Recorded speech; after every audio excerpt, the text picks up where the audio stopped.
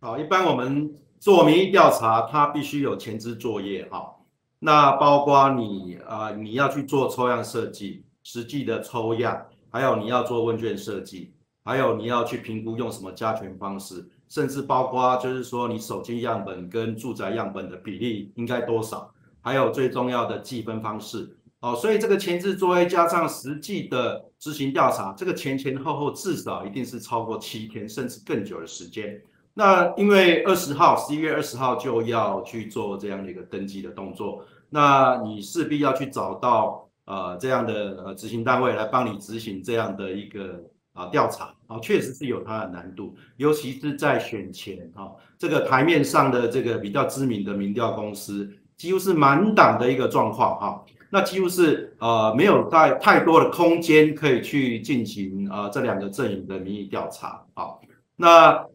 所以你只能啊就过去呃十天哦，就是说呃过去几天这样已经有公布了这样的民调来去评估说，哎这样呃呃在呃六呃这几个共识之下哈。那是猴科啊比较领先，还是科猴比较领先啊？那另外还是有一个呃观点是呃不容排除的，就是说你拿过去的调查那来审视，那不用再重新做一次，那相对的也去降低两个阵营对这个民调的整个过程操作的这样的一个空间。那不过这一次的协商还是有留有伏笔了哈，就是说呃两方的阵营啊都可以。呃，找出自己的一个内参的民调，那有可能这几天也可能做，也可能是拿过去啊已经执行完毕的这样的一个调调查数据啊来做这呃让这些啊学者专家来做审视。那不过我想哈，这两个阵应该都会拿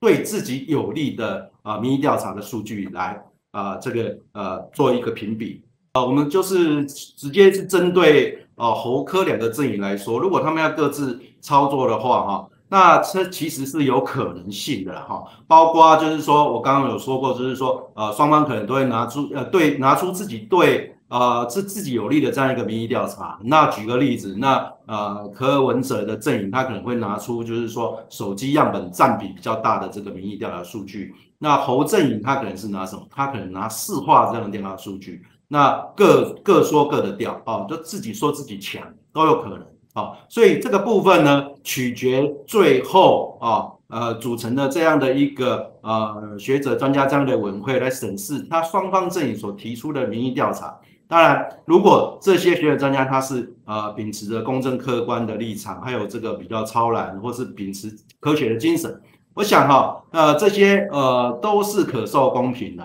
那如果各呃两方面阵营要各自操作的话，呃，空间是有，但是。透过这些学者专家，或许会做一些审视，或做一些排除的这样的一个动作。那另外就是说，针对啊两个阵营的各自支持者，也有可能会有操作。那甚至绿粉也是有可能哈，这个绿色选民他也可能就是说，哎，为了让这个赖清德他的选情更加的稳固啊，那也可能啊去回答他们所认知的这个呃侯科配会比较弱的一个状况。哦，这个都有可能会去做一些操作，不过这部呃，就我们这个随机操作的概念来讲，这一部分毕竟它是一小部分的人，并不会影响的整个民意调查的整个啊最后的一个结果。嗯，影响的比较少就对了。没错。那现在来看呢，七号到十七号民调这样子整理出来看，似乎目前是侯科配比较有可能，你怎么看？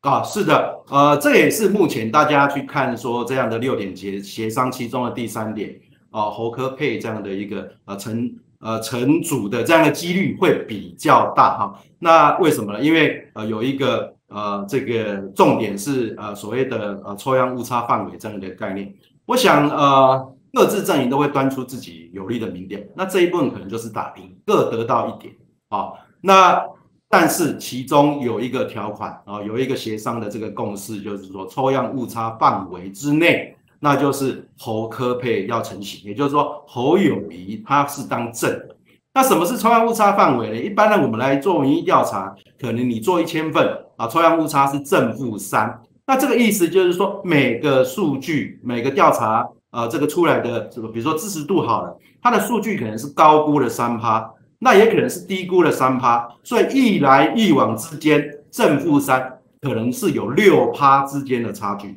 那这个六趴呢，对于这两个阵营来讲，哦，那其实呃这个范围是很大的哦，这抽样误差范围是很大的。那怎么讲呢？呃，我们可以进一步去啊去想象一下，如果今天呃民意调查是问说，哎，这个科侯对决啊这个赖萧，或是侯科对决赖萧，那我想这个如果是蓝营的人啊，或是白营的人，他可能什么？他可能是啊希望啊这个民进党下台。哦，那所以就会形成什么非绿阵营对决绿色阵营的一个状况，也就是说，哎，这个氛围是很一致的哦。所以不管怎么组合，不管是柯的当政的，或是侯当政的，其实这两组拿到的支持度的差距哦，其实是不会相差太大的。他他不是个人的去做评比，而个人可能他就会有一些比较。啊，这个极端的好恶，那可能这个个人评比的这个数据就差距比较大。如果是主对于绿的这样的一个阵营，哦，那不管是侯科科侯，他拿到的支持度其实两边不会相距太大，太太大。那不会相距太大，刚刚我讲的一个重点就是说，抽样误差可能在六趴哦，甚至就是说样本数多一点可能是五趴。所以你只要这两组的差距不是在六趴之内啊。那就可能会断定这样的一个胜负，但是如果今天啊，它是在这六趴之内，那就是属于啊这个侯科佩啊这样的得分啊记了一点啊，那这一点我们就看这一点来讲的话，这是确实是对侯友谊阵营是比较有利的一个状况。